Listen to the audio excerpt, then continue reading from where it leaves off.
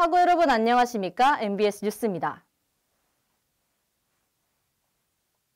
최근 리액션 선본이 당선되면서 우리 대학 인문 캠퍼스 선거가 종료되었는데요. 하지만 리액션 선본과 중앙선거관리위원회에 대한 이의와 의문은 계속되고 있습니다. 더 자세한 내용 권민주 기자가 전해드리겠습니다. 지난 11월 23일 2020년도 제47대 총학생 회장단 리액션 선거운동 본부가 당선되었다는 공고가 게재되었습니다. 하지만 하루가 지난 24일 총학생회 선거 결과에 대한 이의가 제기됐는데요. 그 내용으로는 선거 시행 세칙을 위반하며 선거관리위원회를 근거 없이 비방했다.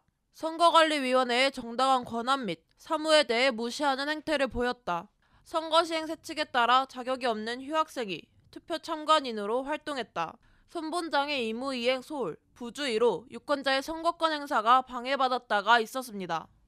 이에 중앙선거관리위원회는 해당 이의 제기에 관한 심의와 결정이 완료될 때까지 구성을 연장하겠다고 밝혔습니다. 이후 26일 중앙선거관리위원회는 다음과 같은 이의 제기 조치 사항을 통해 리액션 선본의 경고 3회와 사과문 8장이라는 징계를 내렸습니다. 하지만 중선관위의 이의 제기 조치 사항에 대해 우리 대학 학우들은 동의할 수 없다는 의견을 표했고 이에 중선관위는 당일 오후 9시에 입장문과 사과문을 발표했습니다. 해당 입장문에 따르면 선거에 관련된 모든 문제 제기와 항의는 선본장만이 중앙선거관리위원회에 할 수 있음을 이유로 학우들의 질문과 이의를 단순 문의사항으로 받아들이고 중선관위의 의결 사항이 번복될 수 없음을 밝혔습니다. 이와 함께 학우들의 문의사항에 대한 답변을 올렸지만 학우들은 이 답변에도 재차 이해할 수 없는 부분이 많다고 지적했습니다. 이례적으로 없었던 이제 주의 세 번부터 문제가 있다고 생각을 하고요. 그리고 그 부분에 대해서 제대로 된 어떤 투명한 피드백 없이 결과만 저희가 그거에 대한 또 다른 피드백을 줬는데도 불구하고 아직까지 답변이 없어서 이게 소통하는 총학생이라고 했는데 과연 학우 분들이랑 소통을 하는 걸까? 중요한 안건을 다룬 회의의 과정과 의결 사항 등을 밝히지 않고 입장문만 밝히는 것은 학우들을 전혀 고려하지 않은 자세이다. 유권자가 원하는 시간과 장소에 투표할 수 있는 권리를 침해받았는데 정말 어떠한 악영향과 투표권의 박탈도 없다고 판단되는가? 중선관위가 정말 민주적이고 공명정대한 선거를 지향하는지 모르겠다 등이 학우분들의 지적 중 일부였습니다. 중앙선거관리위원회는 입장문과 함께 자격이 없는 휴학생이 투표 참관인으로 활동한 것에 대한 사과문도 게재했는데요.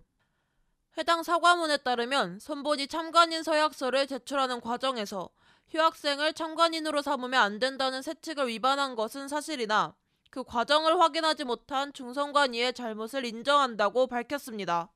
선거 세칙에 보면 부칙 2조에 선거에 관련된 모든 이의제기와 항의는 선분장만이 선거관리위원분들에게 할 수 있다라는 세칙이 있는데 선분장 역할을 해본 사람으로서 이의제기나 모든 항의 문제 같은 경우에는 모든 학우분들이 이의제기를 할 수 있어야 민주적인 선거가 될 수 있다고 생각하는 하지만 학우들은 정당하지 못한 선거로 당선된 리액션 선본이 정당성을 가질 수 있는지 모르겠다.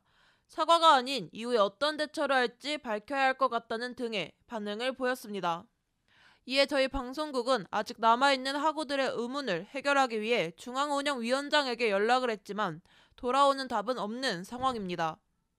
학우들의 의견을 대변하는 선거 과정에서 문제가 있음을 인정한 중앙선거관리위원회는 단순 사과만이 아닌 적절한 대응과 조치를 통해 올바른 선거를 만들고 학우들의 요구와 이의를 적극적으로 반영하는 태도를 지닐 필요가 있습니다.